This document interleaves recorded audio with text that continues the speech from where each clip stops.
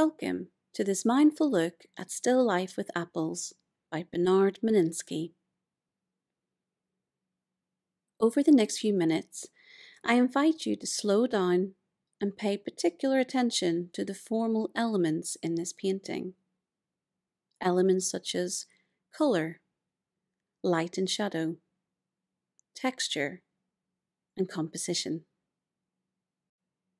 You may find that your mind wanders away during this exercise, away from the painting and gets lost in thought.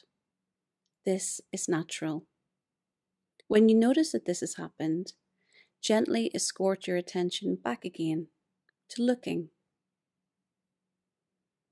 Bring your full attention now to the artwork in front of you. Allow your eyes to move freely around the canvas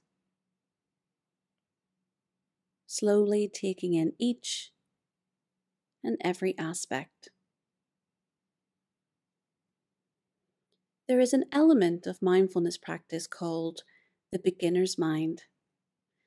This is about cultivating curiosity, to try and see everything as if for the first time. Often, when we rush looking at art, we think we have seen everything there is to see at a first glance. Take this artwork, for example. You may look at it and think that it is a simple depiction of apples, a still life like so many others. But what happens when we allow the painting time to reveal itself? We may notice an unusual array of colours in some of the apples a selection of colours we would not normally see. The subtle tints of violet, yellow, and even blue.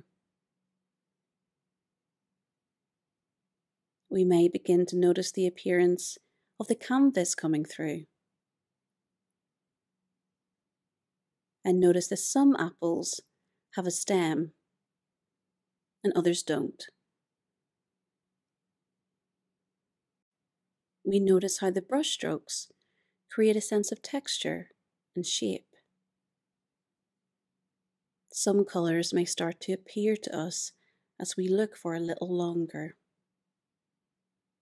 The olive green in the background, the thick blue outline around some of the fruit, and the presence of shadow cast on the table below. And finally, let's turn our attention to the smallest apple on the left.